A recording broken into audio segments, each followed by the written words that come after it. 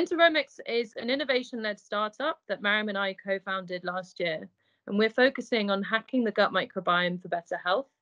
So, Enteromics is changing the way that we monitor gut health uh, by building Gut Lab, which is a platform that uh, comprises of an Internet of Medical Thing or a smart pill and an application.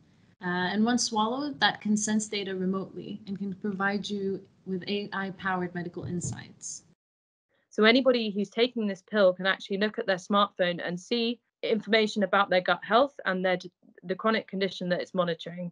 So Mariam and I met at the launch event of Conception X, which is a deep tech accelerator for PhD students. And we both had an idea around a medical device. So my idea was to have an ingestible device that can be swallowed that tracks your gut health.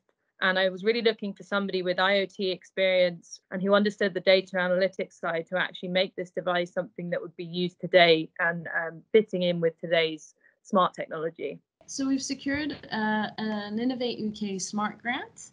This project will allow us to reach our minimum viable product uh, for the specific application of inflammatory bowel disease.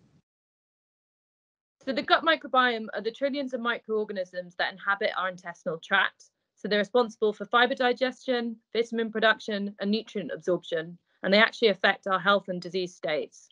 So in the case of inflammatory bowel disease, like the disease that we're looking at, we know that the microbiome actually changes in response to the disease progression and the treatment that's offered to the patient.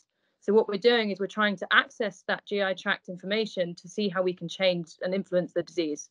Enteromics has the potential to fundamentally change the way we practice medicine as it gives us access to a previously unreachable location in our body and allow us to uh, understand our health like we've never been able to before.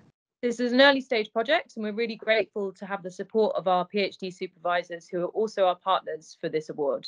And for me, that's Professor Mohan Edirisinghe, and for Mariam, that's Dr. Darren Nesbeth.